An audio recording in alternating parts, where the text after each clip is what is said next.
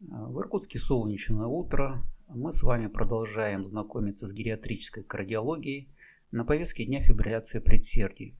Очень надеюсь, что сегодня с командой крупнейшего медицинского издательства Гаятар Медиа мы сдадим в печать книгу «Аритмии сердца», которая переиздается уже восьмой раз. Эта аритмия очень редко выявляется у пациентов до 60 лет, обычно только при выраженных заболеваниях сердца. В то же время после 80 почти каждый третий имеет фибрилляцию предсердий. А, здесь представлена схема развития фибрилляции предсердий.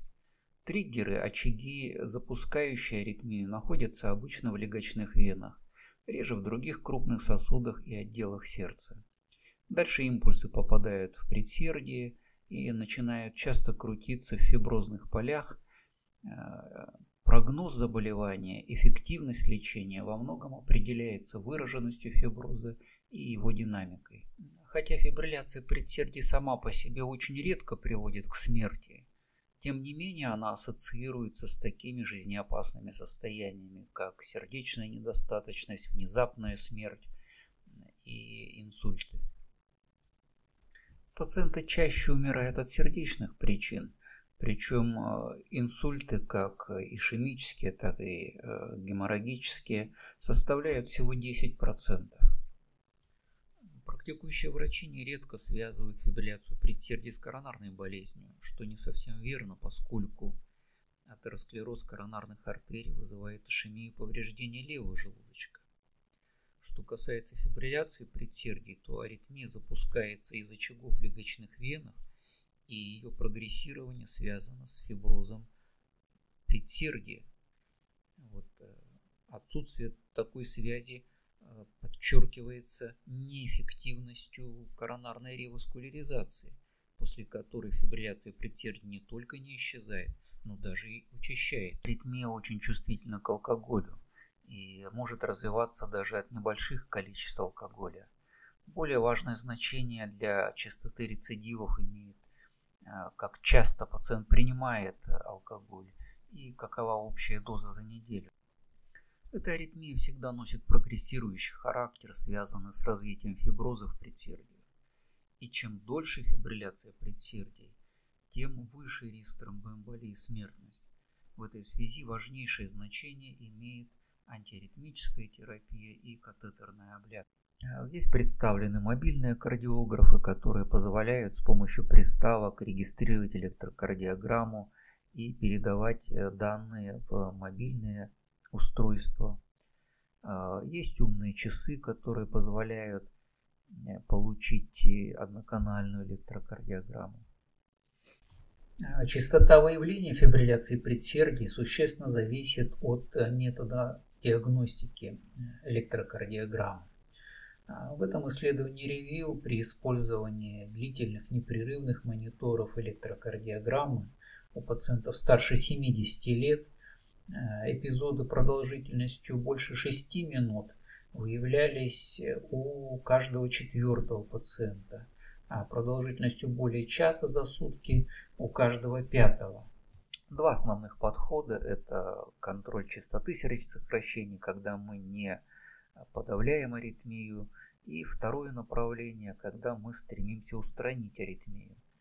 Именно этот подход считается наиболее эффективным, поскольку позволяет уменьшить симптомные приступы, увеличить сердечный выброс и улучшить физические возможности пациента, повысить качество жизни и если выбирается режим контроля частоты сокращений сердца, то так же, как и при синусовом ритме у пациентов с сердечной недостаточностью, э, нужно стремиться к более жесткому контролю частоты пульса. Фибрилляция предсердий в течение многих лет может восстанавливаться спонтанно, поэтому нередко можно подождать и дождаться, когда приступ пройдет сам особенно если известно, что это короткие малосимптомные эпизоды. Для прекращения приступа обычно используется пропофенон.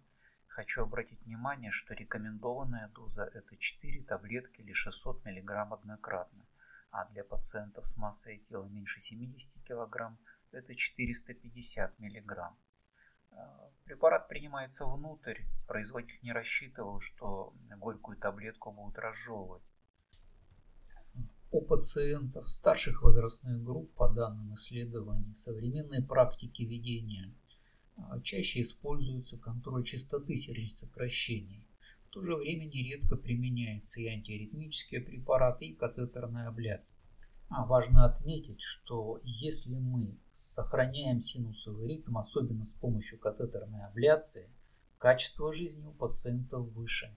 Несмотря на риски, связанные с э, дисфункцией щитовидной железы, э, в редких случаях э, фиброзом легких, амиодарон остается ведущим препаратом для профилактики аритмии. Здесь показана усредненная схема ведения пациентов с подбором антиаритмической терапии, начиная от пропофенона, саталол, амиодарон – в тех случаях, когда не удается эффективно контролировать аритмию при помощи антиаритмических препаратов, э, можно использовать контроль частоты сердцекрощений при помощи бета-блокаторов чаще всего или направить пациента на катетерную абляцию. Основным показанием к катетерной абляции является симптомная фибрилляция предсердий, которая мешает жить пациенту, при том, что профилактическая антиаритмическая терапия неэффективна. А классическая работа Хасугуэра с авторами, где показана схема запуска фибрилляции предсердий из очагов в легочных венах. А здесь видно, как электрический импульс легочной вены запускает фибрилляцию предсердий, а после абляции уже не может прорваться и запустить аритмию.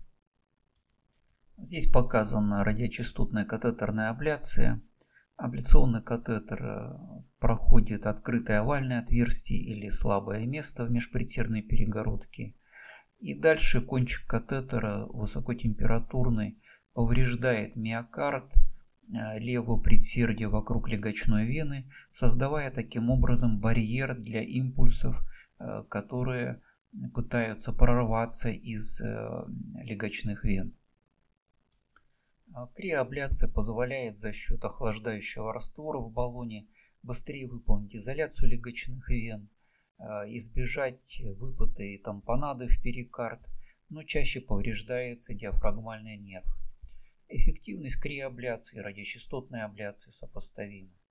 Абляция существенно эффективнее антиаритмической терапии для предупреждения приступов. А, в то же время сравнение не выявила преимуществ перед э, медикаментозным лечением по смертности, по числу инсультов и кровотечений. А важно отметить, что абляция улучшает качество жизни по сравнению с постоянной антиаритмической терапией. Эффективность абляции раньше оценивалась по симптомным эпизодам фибрилляции предсердий. В то же время, если использовать имплантируемые мониторы – для длительной многолетней регистрации аритмии, то выясняется, что э, фибрилляция предсердий сохраняется почти у половины пациентов. А, направляя пациентов на абляцию, следует учитывать, что в 5-7% случаев мы можем встретиться с осложнениями, и об этом нужно предупреждать пациентов. Во многом это связано с возрастом пациента, с наличием коморбидных заболеваний.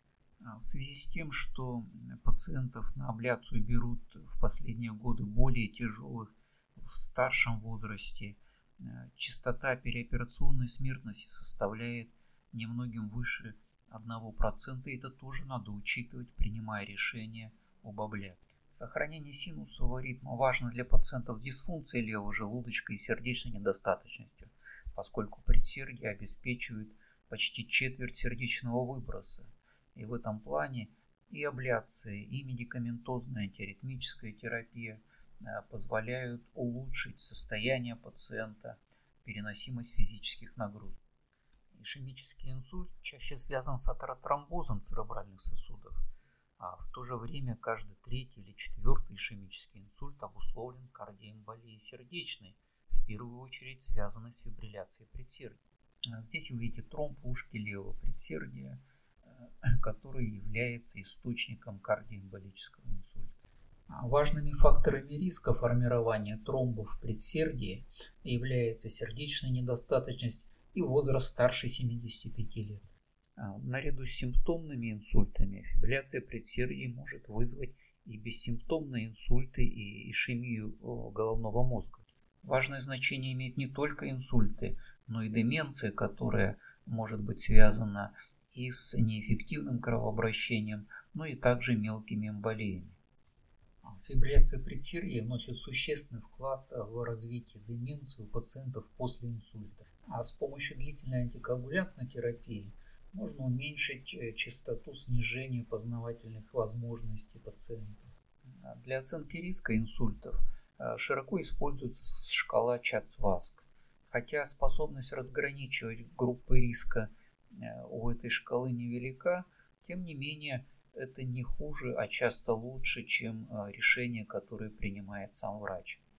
Обычно сложности представляет серая зона, так называемая, когда э, риск инсульта не очень высокий и сложно принимать решение о постоянной пожизненной терапии антикоагулянтами. В этих случаях могут использоваться модификаторы риска, э, которые не вошли в основную шкалу. А более детально шкала и оценка риска прогнозирования в кардиологии вот обсуждается в моей книге «Прогнозирование шкалы в медицине». А, несмотря на появление современных препаратов антикоагулянтных, варфарин остается одним из основных средств для профилактики тромбоэмболии. Исследования показали, что а, новые антикоагулянты не превосходят а, варфарин по способности предупреждать тромбоэмболии. Вместе с тем обращу внимание, что в этих сравнительных исследованиях эффективность лечения варфарином была далеко не идеальной.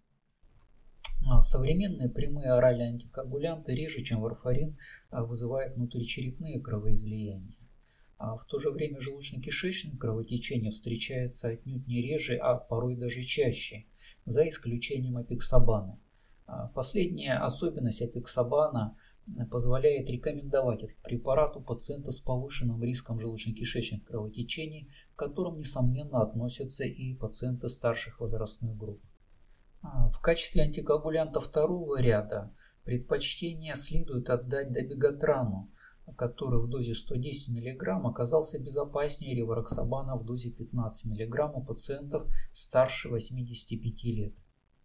А, в связи с более низким риском желудочно-кишечных кровотечений апексабан рекомендован для пациентов старческого возраста в качестве приоритетного. А если у пациента возраст старше 80 лет и имеется либо масса тела меньше 60 кг, а, либо уровень креатинина в плазме выше 115 микромоль на литр, используется половинная доза – то есть 2,5 мг два раза, и она не менее эффективна, чем полная доза. Ну, вот здесь показана табличка а, выбора оральных антикоагулянтов, э, которую я использую в своей практике. А, здесь нужно сразу выделить а, ситуации, где варфарину альтернативы нет. Это митральный стеноз, это искусственные клапаны, это тяжелая дисфункция почек, там, где нам необходимо контролировать антикоагуляцию, потому что у нас есть МНО, а для новых антикоагулянтов в рутинной практике метода контроля лабораторного нет. А, пока еще при беременности и лактации прямые антикоагулянты не изучены хорошо. Также нет надежных исследований при разных тромбофилиях. Менее эффективны они при антифосфолипидном синдроме. И, конечно, цена в районе двух с половиной, иногда трех тысяч за месяц для многих пациентов малообеспеченных является неприемлемой. А нередко пациенты наряду с рекомендованным лечением врачом используют многочисленные альтернативные методы лечения, включая фитосредства. В этой связи следует обратить внимание пациентов на возможность усиления или ослабления эффекта оральных антикоагулянтов при приеме нерекомендованных средств. Важно отметить, что если появляется кишечное кровотечение на фоне приема антикоагулянтов, то здесь может быть скрыто другое заболевание, например, рак. Большие сложности вызывает необходимость приема антикоагулянтов в сочетании с дезагрегантом после стентирования у пациентов с острыми и хроническими коронарными заболеваниями. А, важно отметить, что при высоком риске кровотечений, особенно когда имплантируются либо голометаллические, либо современные стенты, э, выделяющие лекарствами, а, можно использовать прямой антикоагулянт с клопидогрелом без второго дезагреганта. Ну вот и закончилась наша лекция очередная. А, здесь вы видите древние наскальные рисунки первого-второго тысячелетия на утесе Саган-Заба на Байкале.